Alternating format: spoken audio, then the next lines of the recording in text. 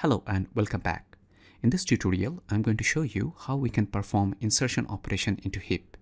We know that we can maintain a heap in one-dimensional array and I have explained how we can do that in the last tutorial. Now let's go ahead and perform the insertion operation and see how we can maintain the heap using one-dimensional array after the insertion. So here we go. I'll show you what is happening there in the almost complete binary tree side by side at the top of the screen. And the things are practically going to happen at the bottom of the screen in that array. So we have that empty array right now. We don't have any element in the heap and we go on inserting this 50 and that is placed at index 1. And since we don't have any other element in the heap, we just don't need to do anything else. Now the next item is going to be inserted at index 2 right? Because this is almost complete binary tree. So we need to insert level by level left to right. So index 2 is the next place where we insert 70 now immediately after inserting 70 we find that it is violating the heap rule max heap rule because 70 is larger than 50 so 70 must be there at the root right? So after insertion we find that the heap is no longer a heap. So what we need to do we need to do restore heap up operation and that means we need to go on comparing with the parents uh, with the current value that we have just inserted. So i is the current index where we have inserted the new element that's 70 and p is the parent index that's the parent of the index i and that is actually i by 2. So i is 2 so i by 2 is actually 1. So you see that the parent is at index 1 and that contains 50. So we compare the content of parent with that of the i and that is actually 50 less than equals 70 so we move that 50 there at index p to at index i. And we make a provision of the 70 the newly inserted element at the index i. Then we go on comparing. Unless and until we are satisfied that no more parent is there we need to go on in this way.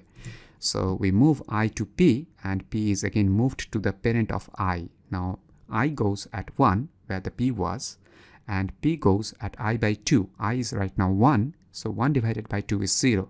So p goes at index 0. So now we know that index 0 is invalid 1 because we are starting our heap from index 1. So that's the index of root, the index 1. So p is in invalid index. So we are just coming out of the loop and we are placing that 70. The, that's our item at index 1 where the i is right now. And we are done restoring the heap. Now let's go ahead and insert one more element there. Now this time i is going to be 3 that's the next element where we are going to place the new item, right? Because it's almost complete binary tree. And for that, we need to insert at index 3 because that's the next index, the right to 70.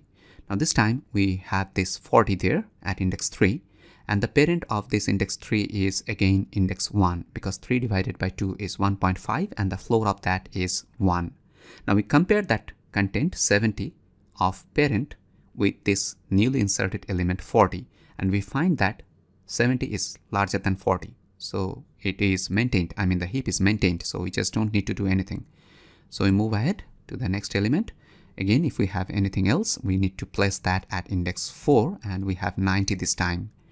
Now it's going to be compared with 50 that's the parent element and 50 is less than 90 that means 90 is larger than 50 so we need to move that 50 to index i to make a provision for that 90.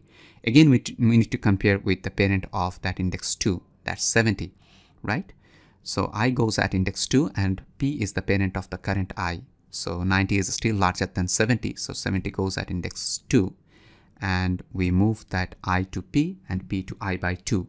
So again, p goes at index 0, that's invalid one. So we are placing 90, our current item, at index i, that's at index 1, and the heap is adjusted. Now the next element for insertion is 5. That's the right child of 70, right? So we are inserting say 80 here. Now you see that the parent of this 5 is 2. i is 5, so i divided by 2 is 2, so p is 2 right now.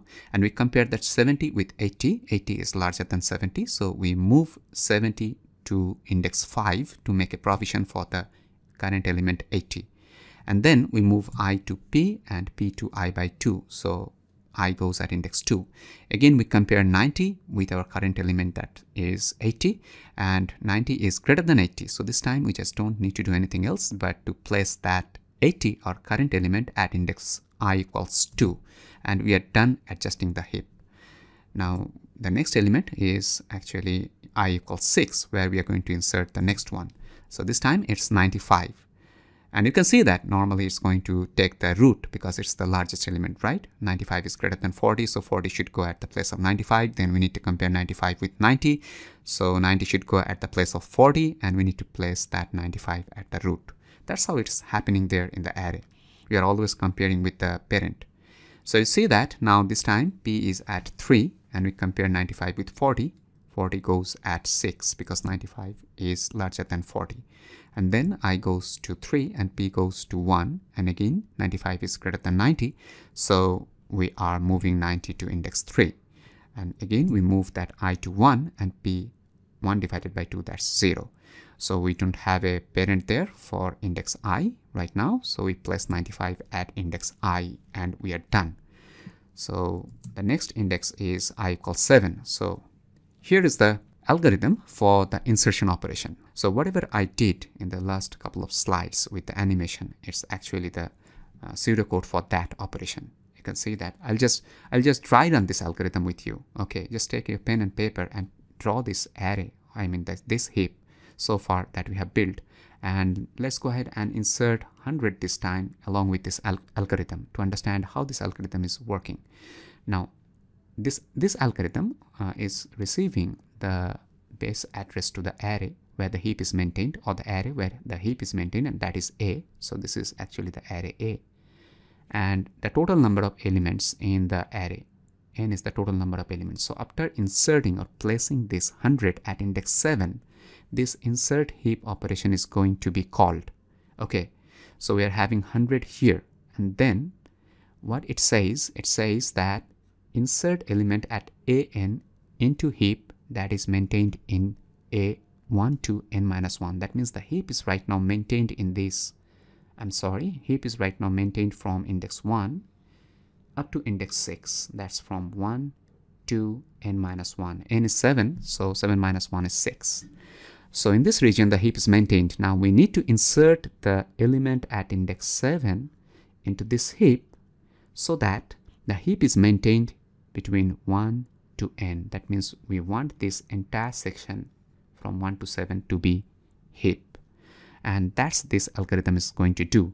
So it's going to perform the comparison operation with the parents. That what I showed you in the last couple of slides with the animation. So let's go ahead and do the drill. Let me just delete all these things first. Okay, so what we are doing here, i is n, n is n was 7, n is 7, so i is 7 right now, and the item that we want to insert is an, that's the element at the index n, that's 100, that we need to insert. So here we are calling the parent as p, so I'll keep that as p, okay. So p is the parent and p is right now i divided by 2, that's 7 divided by 2, so p is right now here, p is 3 now we are having this while loop. So this while loop goes on comparing with the parents as long as there is a parent. So P is right now 3, 3 greater than 0, that's valid. That means we have a parent there. And AP, that's the content of the parent, that's 90 right now. Is that less than item? Is that less than 100? Yes, it is. So we come inside of this while loop. And what we are doing, we are moving that uh, AP to AI. We are assigning that AP to AI. That means AP is 90 that's actually assigned here. So we don't have this 100 anymore there. We have 90 here this time. And what we do next is we are actually assigning p. We are assigning i with p. That means i goes here at index 3 and p goes to i by 2 now 3 by 2 is 1 so p goes here. That's 1 so that's how the things are happening there in the while loop and let me just erase the previous things. Okay here we go. Now again what do we do? We come here in the while loop. We iterate back in the while loop and we check whether the parent is right now uh, in the valid index or not. So p is 1 that's greater than 0 that's true. And ap that's 95 right? That's less than 100 that's also true. So we come inside the while loop again and again we are moving that content of p to index i so this 95 is moved here and we are making a provision for that 100 so again we are assigning p to i. So i goes at index 1 i comes here and p goes at index 0 because 1 divided by 2 is 0 again we iterate back here.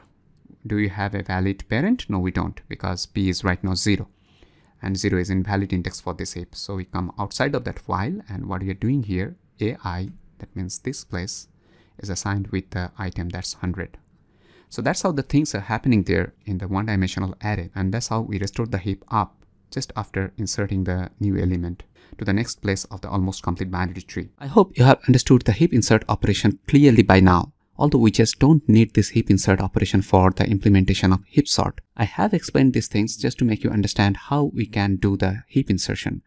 Uh, we are going to build the heap from the unsorted array using another operation that we typically call heapify operation that is going to use the adjust operation that we are going to understand later. So in the next tutorial, we are going to start with the heap delete operation and that's going to use that adjust operation that I just mentioned. And after that, we'll be building the heapify as well. So we still need to go many miles before we can understand heap sort. Thank you for watching this.